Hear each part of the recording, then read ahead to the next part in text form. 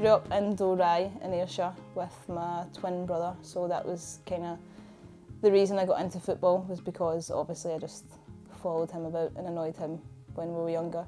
People probably thought my mum and dad had twin boys because I was just kitted out in Rangers kit the full time playing football. Always had a ball with me wherever I went. It was obviously good because we had the same interests and um, we got on really well, so that was a good thing as well.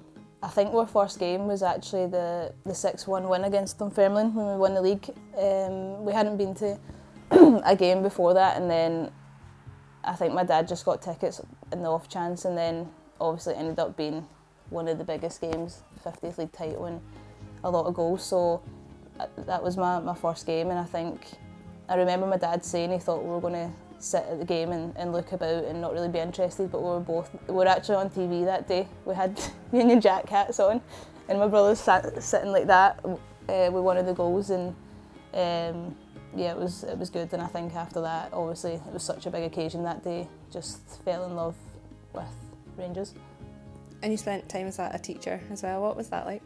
Yeah, it was good. Um, that was obviously difficult. I was trying to balance a full-time job with part-time football, so I think when I was when I was doing that, I, I taught for three years. I think I kind of realised at that point how how much effort it took from my mum and dad to make sure I got to football when I was younger. Because um, there was periods where I was training up at the training centre four nights a week, and my mum was working all day and then driving me up there and not getting back till ten at night. And I think when I was teaching, I think I realised how much effort and time that would have took her, and that's kind of when I appreciated, you know, the things they'd done for me. It was always in the back of my head I wanted to be a professional footballer, but I think when I started my teacher training, I think there, there could have been an opportunity if I if I pushed it to, to go professional, but I decided at that point and what age I was at and stuff that I think it was better just to to sort my career first. And then you know it was obviously a risk I was hoping that the opportunity would come up once I was fully qualified and thankfully it did. But um, I think it was good timing. I think everything kind of worked out exactly how I, I would have wanted it and you know I plan on going back to teaching after I, I really enjoyed it but it is quite a time consuming career as well. And when you were young and, and growing up, did you see professional football as an option or, or at what point did that become a, an option for you? No, it wasn't anything. Obviously, women's football was so far behind at that point when I was growing up. Um, even when I was at Rangers and we were training at night time, I think we were in at 8 o'clock at night after all the boys finished. We didn't finish till 10 o'clock and then, you know, I was coming back to Dalry and up early for school the next morning and at that point there was, I don't even think I would have thought about being a professional footballer.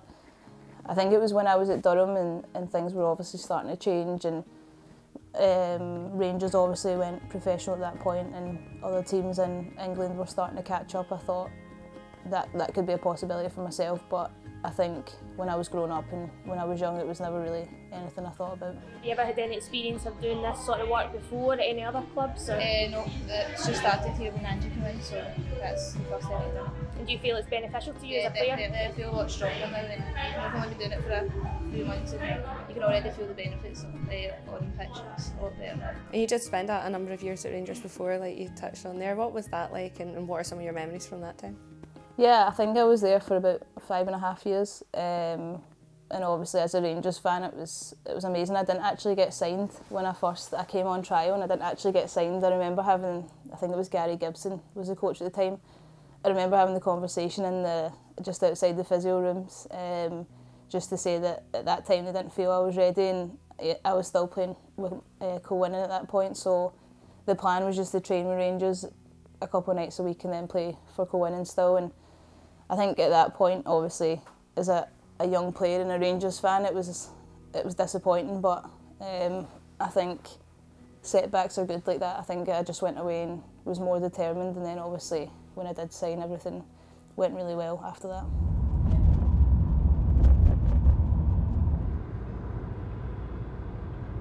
Kilwinning Sports Club. That's where I played for quite a while.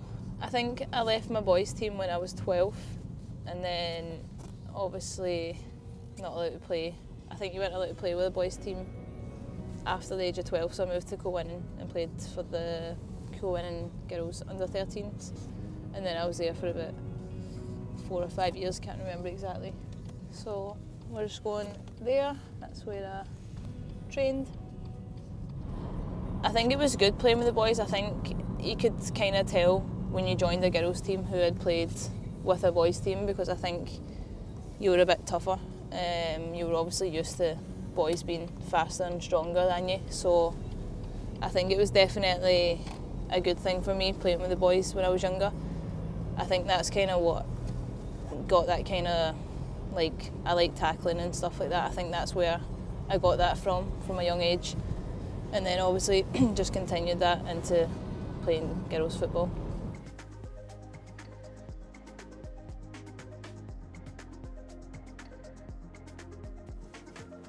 Come on I'll show you Thank you. something about it. And then I'll, I'll get hunted for that picture. Yeah, I know that would be good. I I've seen it on fa- it's on my Facebook somewhere. I know, see, see if I can find it. Would you Yeah. be able to find it? Because it is a, it's a good team show. Yeah, I think, know what you're talking about. Yeah, definitely. I'll able to find it.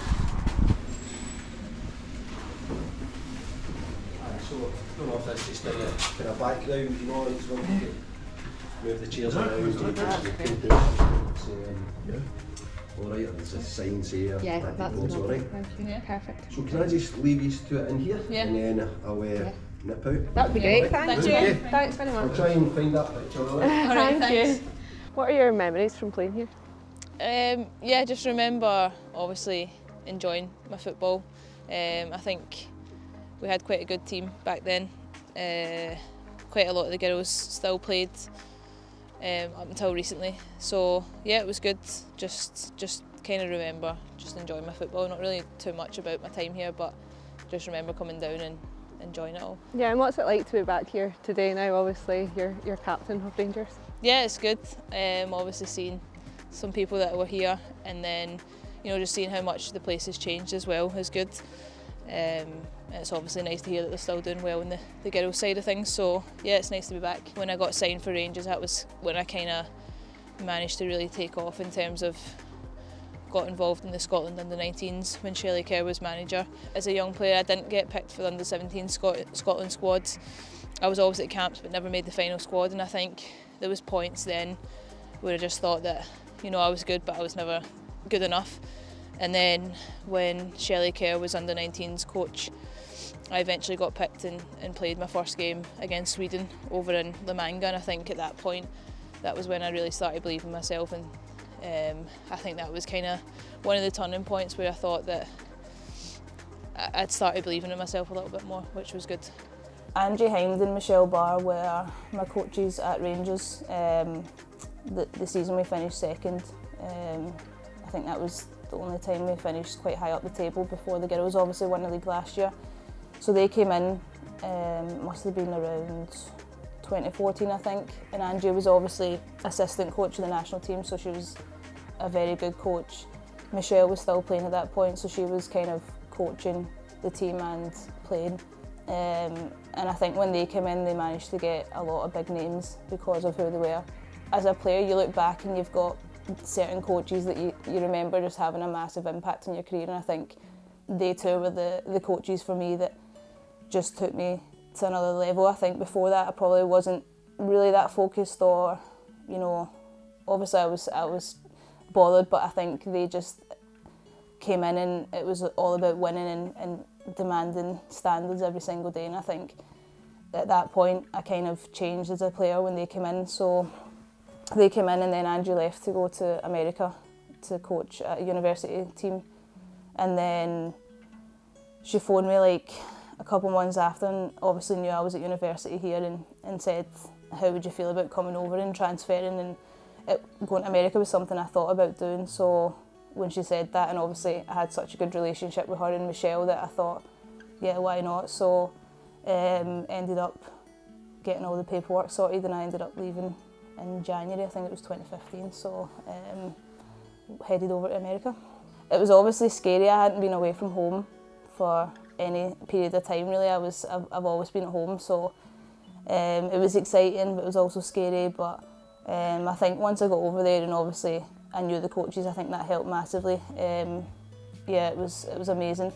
Um, so I moved over in January, so it was quite good that I kind of had Christmas and then I went over there and yeah, I was over there for, for two and a half years and it was good. My mum came over quite a lot to visit um, in the summer and then I came home at Christmas time, so it was good that I could get home as well. But yeah, it was just it was different. The the the quality of football, the way they played, the the, the standard of athletes more than anything. It was it was a lot different and.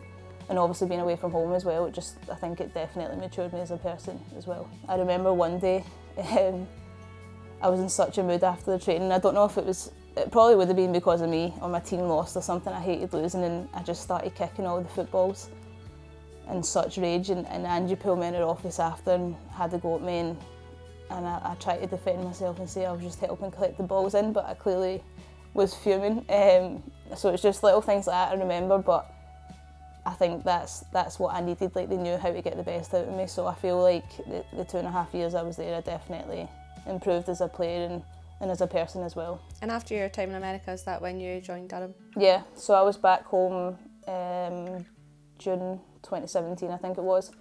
So I was home for a few months and then moved to Durham and done my masters there and then obviously played part time as well. The first couple of years were difficult for me because I had a lot going on, so I don't think I really focused much on my football at that time. But I think, you know, when I, I reflect, I don't think it's really that. I don't. I'm not hard on myself because obviously um, you have a lot going on and again, I had just been home, so it was it was nice that I could just drive three hours up the road if I wanted to. Um, but yeah, I enjoyed my time at Durham. I think the last kind of couple of years we were we finished second one year. The the club was growing, the league was really competitive, and that's what I really liked about being in the championship was every game was close. Like the top could take points off the bottom and vice versa. Like you, you couldn't predict the scores, and I think that was what I really liked about that league was how, how competitive it was.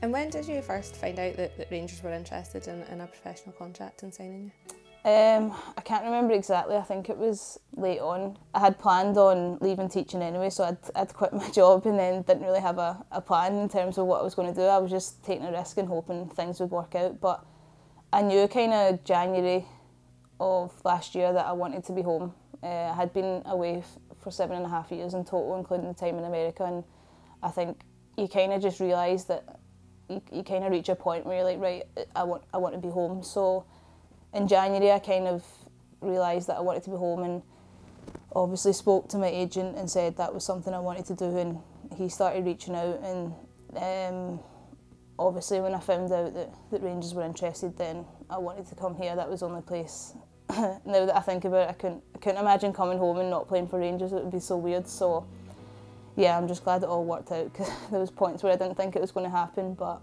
um, yeah, glad it happened.